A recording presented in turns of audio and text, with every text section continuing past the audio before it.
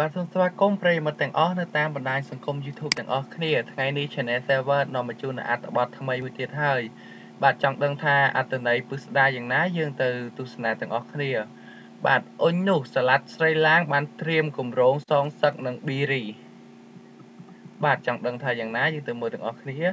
តារាសម្ដែងពូកែលេងសើចច្រើនកញ្ញាសាឡាត់ស្រីឡាងកំពុងតែមានរឿងមិនសុខចិត្តជាមួយនឹងតារាប្រុសគឺលោកប៊ីរី ដែលធ្លាប់ធ្វើបាបរូបនាងពេលរួមការងារជាមួយគ្នាកន្លងមកតារាស្រីរូបនេះរងចាំតែឱកាសល្អបានជួបនឹង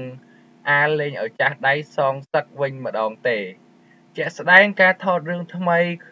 ដែលសុំលាក់ចំណងជើងរឿងសិនតារាស្រីរូបនេះបានបញ្ជាក់ពីការសងសឹកតួប្រុសវិញថាកុំយូរហើយ ពេលនេះបានសម្ដែងរួមគ្នាដល់ពេលហ្នឹងធ្វើឲ្យ ភ័យមាត់ស្លាំងតែម្ដង បាទរឿងសំខាន់មួយទៀតរត់តែធ្វើឲ្យកញ្ញាខូចចិត្តត្រង់ថាតួប្រុសសអីសយ៉ាងនេះ សាច់សជាងតួស្រីទៅទៀតគួរឲ្យច្រណែនណាស់បាទគឺគាត់បាននិយាយបែបនេះស្លាប់ស្រីឡើងបានបញ្ជាក់ថាសម្រាប់រឿងនេះសូមលាក់ចំណងជើងសិននិយាយពីការនិយាយការពិតខ្ញុំចូលចិត្តដើរតួអង្គក្នុងរឿងនេះព្រោះខ្ញុំចូលចិត្ត តួកាចអត់ចូលចិត្តតួស្លូតទេ ដោយតួក្នុងរឿងនេះគឺជាមនុស្សស្រីដែលអត់សុភាពទេ ហើយមើលទៅកំសត់ពេកចូលចិត្តនិយាយច្រើន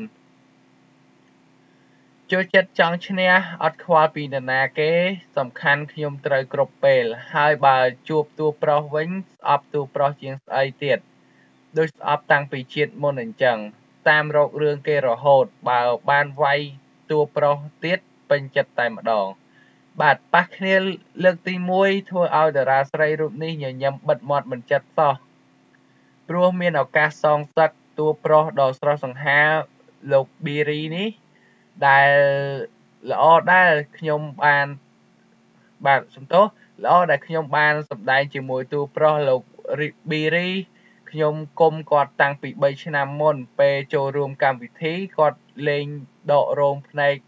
ខ្ញុំចោលទាំងដុំទាំងដុំតែម្ដងឥឡូវគំនុំចាស់សងសឹកគាត់វិញ ព្រោះគាត់នឹងហើយខ្លាចតកែខ្ញុំនឹងយកតកែធ្វើបាបគាត់វិញសាឡាត់ស្រីឡាង បានរៀបរាប់ទាំងអស់សំណោចបែបនេះ បាទនេះគឺជាការថតរឿងថ្មីមួយរបស់កញ្ញាសាឡាត់ស្រីឡាងនិងតួប្រុសប៊ីរី